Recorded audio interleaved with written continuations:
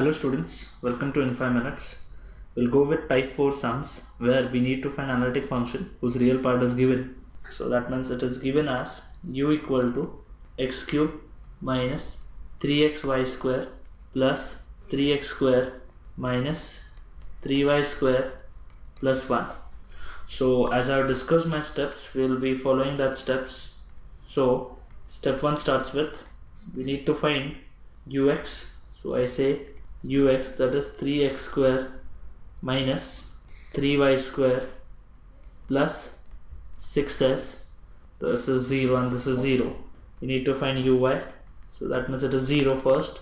Next is with respect to y that will be minus 6 xy with respect to y this is 0 and this is minus 6 y and the last is 0 so that's my step 1 step 2 I can say by Milne Thomson x equal to z y equal to 0 so I get ux equal to 3z square plus 6z and ui equal to as y is 0 so both terms are 0 I get ui equal to 0 so now my step 3 is we did with Milne Thomson now by analytic function I can say ux is equal to vy and ui is equal to minus vx. So that means I don't need to change my ux so ux is 3z square plus 6z but ui in the place of ui you'll be writing minus vx so I can write vx equal to 0 because minus will be not affecting.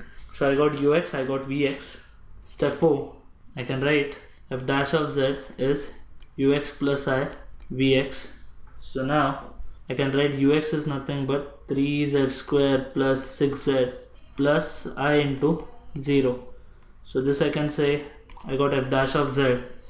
I want f of z which is nothing but integration of f dash of z dz. So I get here integration of 3z square plus 6z dz.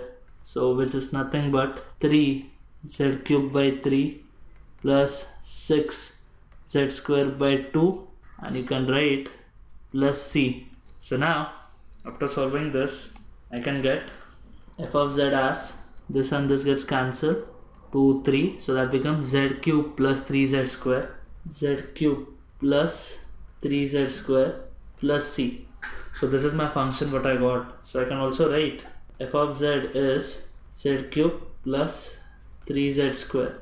So in this way you can find f of z. Now here it is not given but let us say u is given. Let's find v and once you will be getting v automatically your u will be compared and it will be verified.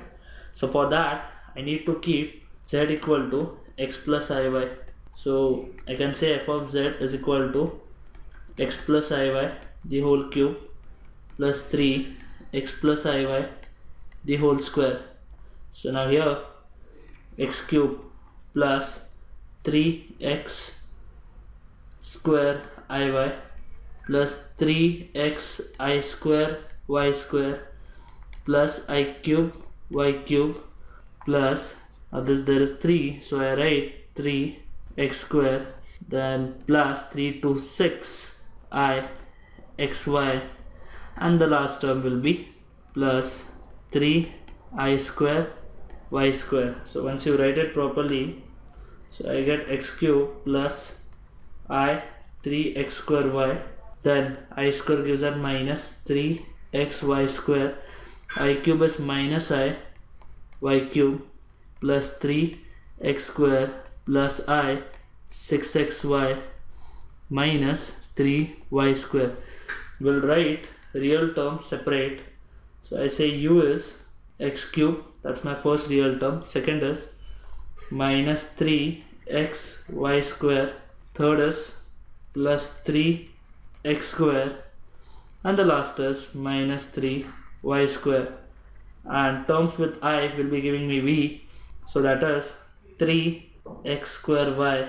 That is this term. Then minus y cube this term. And the last is plus 6xy if you compare check your u.